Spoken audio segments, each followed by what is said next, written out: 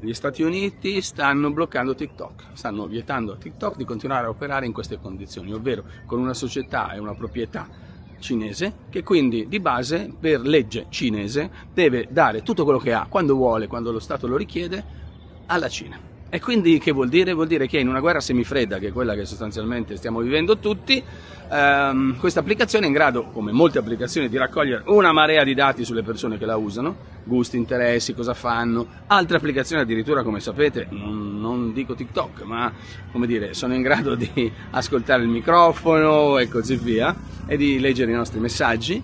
Ecco, e sostanzialmente gli Stati Uniti non sono felici che uno Stato semi-amico o semi-nemico o comunque semifreddo, come nel caso delle relazioni tra Cina e Stati Uniti, possa avere in mano tutti quei dati, soprattutto di ragazzi giovani e che quindi sono facilmente influenzabili. E questo è un altro tema importante, siamo di fronte a eh, elezioni, eh, elezioni che nel mondo ormai sono raggiungono 2 miliardi di persone dappertutto ed è facile influenzare da remoto in quanto una volta i media che influenzavano le intenzioni di voto erano locali, adesso sono internazionali.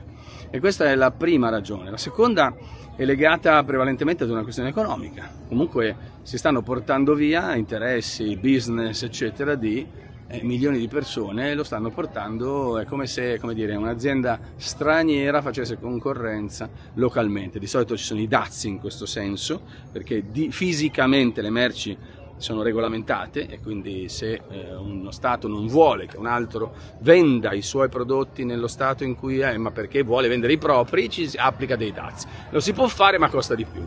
Ecco, nel caso di TikTok dove l'applicazione è gratuita diventa dura fare questo, soprattutto in un mondo in cui con un click, con una VPN eh, è facile se ti viene vietato di usare un'app invece usarla. Questa è un po' la situazione e quindi eh, dobbiamo preoccuparci o no? Eh, dipende, nel senso che se ritenete che la Cina, acquisendo informazioni nostre, possa influenzare le elezioni e anche portarsi via tutta una serie di dati nostri e questo non sia un bene, allora probabilmente siete d'accordo.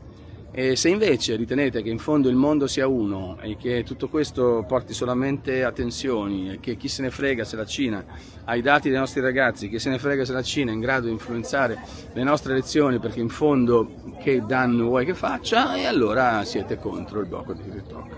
Una cosa certa è che è molto più comodo usare un'applicazione del genere e basta e divertirci sì, piuttosto che porsi tutti questi problemi. Non a caso sono molti ragazzi, e lo saranno, arrabbiati perché non potranno più usare TikTok sempre che TikTok non prenda provvedimenti come quelli richiesti dagli Stati Uniti che appunto deve, deve diventare, deve essere venduta ad una società interamente americana. Ecco, questa un po' è la situazione spiegata in modo facile, facile, facile.